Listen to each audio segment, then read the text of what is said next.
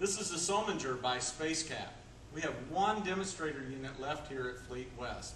This is a lightweight pickup truck application. It's fully transferable, comes on and off the bed of your pickup truck in a matter of minutes, no holes drilled.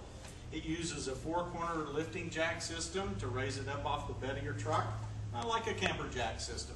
This particular demonstrator model has front fixed window as well as a side fixed window, but this side window can be switched out with a door or you know whatever meets your particular needs.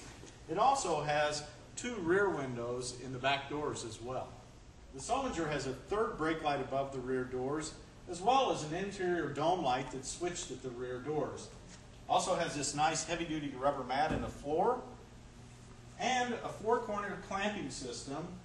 No holes drilled anywhere in the bed of your pickup truck, so it's not bolted into your pickup truck, and it's fully transferable on and off the bed of your truck in a matter of minutes, fully loaded.